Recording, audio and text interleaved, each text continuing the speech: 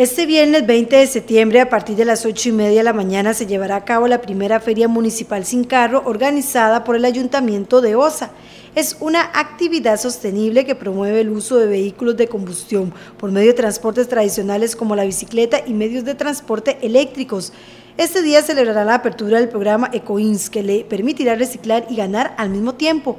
Asimismo, se realizará la ecocleteada para toda la familia, un recorrido por Puerto Cortés. Para inscribirse únicamente deben llevar tres envases plásticos limpios y secos. Además tendrán charlas, presentaciones, están informativos, demostraciones y más.